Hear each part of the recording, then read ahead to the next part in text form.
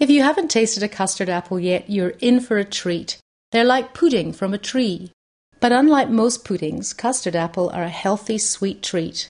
They have low GI and are therefore a good source of energy sustaining carbohydrate with fiber, protein, negligible fat. They're also an excellent source of vitamin C, B6, magnesium, and potassium. They're at their nutritional best when eaten ripe, so it's important to select well. A ripe custard apple is light green in colour. Between its bumps, it will be even lighter and it will have a plump, filled out appearance. When overripe, the fruit will start to blacken. You can check it's ripe by gently squeezing it like an avocado. If it gives slightly under the hand, it's ready to eat. Once ripe, you should eat it within two to three days, as any later it will start to blacken. It's better to buy an underripe custard apple and leave it to ripen than a ripe one which may become damaged and bruised during transport.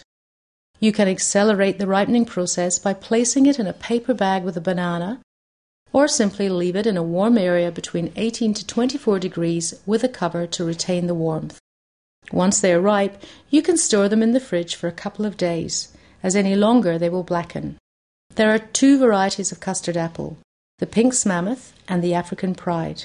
You can either pull them apart with your hands, or, as it is easier to do with the African Pride, cut them open with a knife. Inside is delicious white flesh with black seeds dotted throughout. The flesh can be scooped out with a spoon or cut into slices or wedges. And the black seeds are easily removed using the tip of a knife. You can either eat them as they are, turn them through a curry just before serving for an exotic twist, or use them in a variety of sweet, delicious dishes.